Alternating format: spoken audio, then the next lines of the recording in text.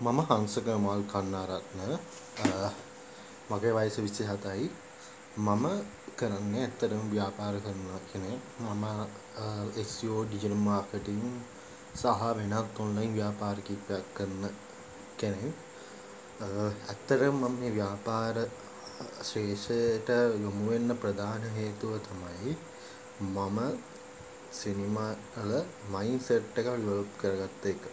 මේ mind set එක develop කරගන්න ප්‍රධාන වූ සාධකයක් තමයි සිනමා ස්ටොක් මාකට් කෝස් එක. ඒ සිනමා ස්ටොක් මාකට් කෝස් එකේ කියන්නේ ඩේලි ඩිසිප්ලින් එක යම්කිසි මදලක් නිතර ඉන්වෙස්ට්මන්ට් වලට තමන්ගේ ෆයිනෑන්ෂල්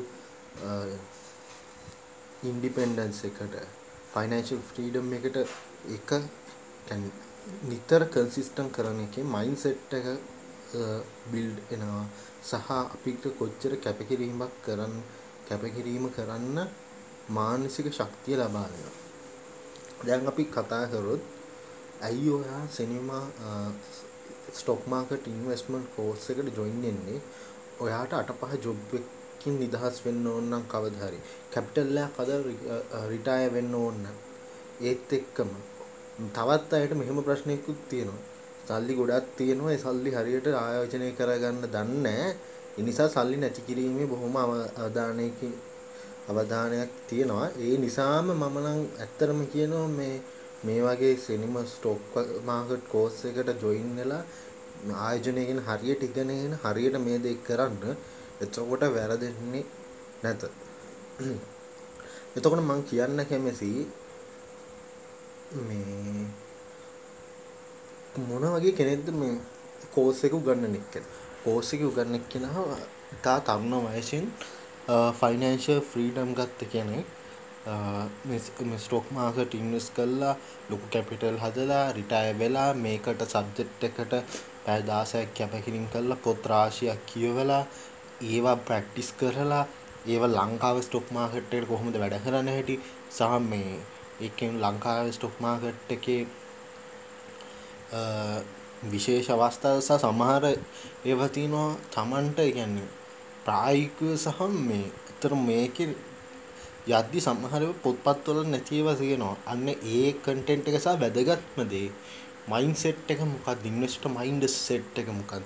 එන්ටර්ප්‍රනර් මයින්ඩ් සෙට් එක මොකක්ද? ඒක පැහැදිලිව ගන්නනවා මේ සිනිමා ස්ටොක් මාකට් ක්ලාස් එකේ. දැන් එතකොට බලද්දී මේකේ මොකද්ද තියෙන කන්ටෙන්ට් එක? අන්න හරි. ප්‍රධාන කන්ටෙන්ට් තුනක් තියෙනවා ඉන්වෙස්ට්මන්ට් සම්බන්ධ මයින්ඩ්සෙට්, ස්ට්‍රැටජි, ටැක්ටික්ස්. දැන් මේකේ වැඩි හරියක් ફોකස් එක දෙන්නේ මේ කෝස් එකේ මයින්ඩ්සෙට් එකට තමයි.